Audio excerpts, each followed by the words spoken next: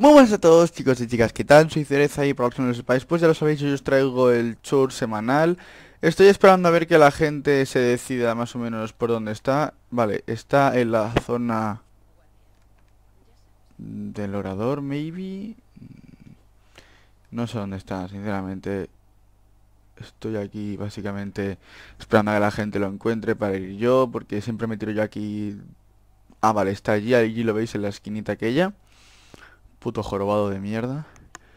Y vamos a ver lo que ha traído, chicos. La verdad, a mí no me interesa nada de lo que traiga, pero os voy a, os voy a como siempre, recomendar las cosas que deberíais comprar para mejorar vuestros guardianes al máximo.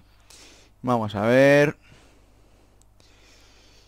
Vale, chicos, el, invernadero. Este casco es muy bueno ya que tiene mucho intelecto y deberíais comprároslo. Básicamente para, pues utilizáis la super que se recargue rápido. Esta, este casco está orientado a la clase de defensor del titán. Y aquí lo veis, aumenta la velocidad de ataques cuerpo a cuerpo, recupera la energía para super al matar a un enemigo con una granada. Y bendición de luz y armas de luz duran más. No me toques, estos guantes son esenciales para el cazador. Son muy, son muy buenos y son los que uso yo. Eh, la única ventaja así más heavy, más buena que tiene es que cuando un enemigo te pega, te haces invisible. O sea que eso está muy bien para el laberinto de Crota y para otras cosas.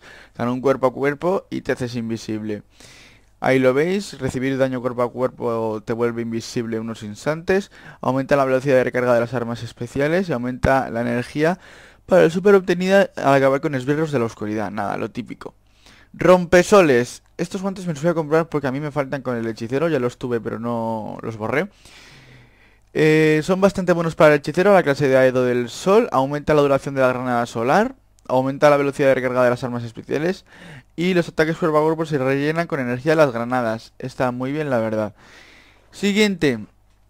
Aliento de dragón. Este lanzacohetes es muy bonito la verdad, pero no es muy bueno. Siempre es mejor el Galahor. Y lo que os iba a decir, chicos, eh, la ventaja así más esencial que tiene es que cuando tienes mejorado al máximo, disparas y se quedaría una granada solar donde hayas disparado. O sea, si impacta contra Teón, por ejemplo, la granada se quedaría ahí durante unos instantes haciéndole daño. Y eh, podéis llevar tres, tres lanzacohetes de cargador.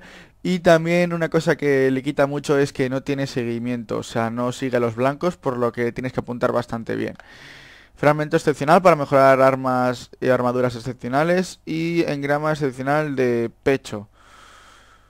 Yo no voy a comprármelo porque ya, ya no me sirve de nada. Voy a comprar un par de pesadas y ya está. Lo que os recomiendo, chicos, eh, yo ya lo tengo todo, pero os recomendaría lo que más, los no me toques y los rompesoles. El invernadero no es un casco que lo use mucha gente, no es muy bueno. Y el anillo de dragón por coleccionismo, pero poco más. Y nada chicos, hasta aquí el vídeo de hoy, espero que os haya gustado el vídeo chicos, like, favorito, suscribiros si no lo estáis y nos vemos en el próximo vídeo de Destiny, hasta luego chicos.